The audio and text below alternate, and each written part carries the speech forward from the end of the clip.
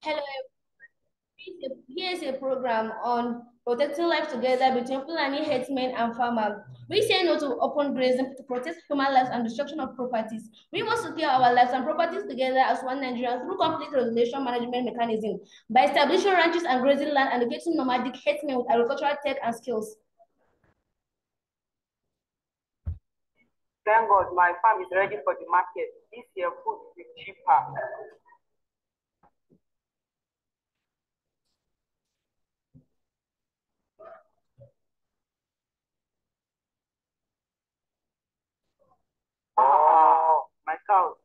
And grow very well. Oh. Plants are for you because you must eat. Oh. Oh. Oh.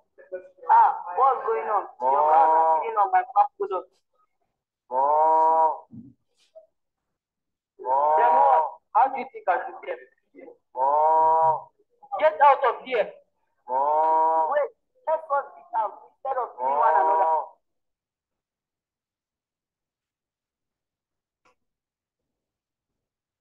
Now, our activities will cause each other no issues or problems. Yes, for sure.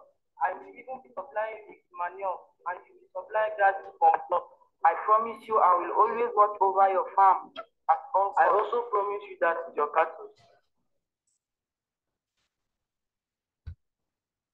Moreover, as you can see, this is a coding of different techniques. Here you can see the icon of the farmer of his appearance. Here, as you can see, in one background change to farmland two, its height, and the other one where it shows.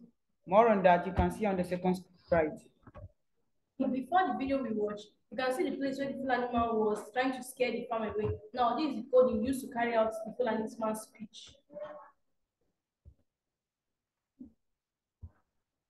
Yeah, the coding we use for the cow, we design the cow in such a way that its head move up and down the presence of eating grasses. Here is shown as the costume and how we design the cow. And the third cow, the movement of the cow moving from one place to another is just changing the, the steps of the cow. That's.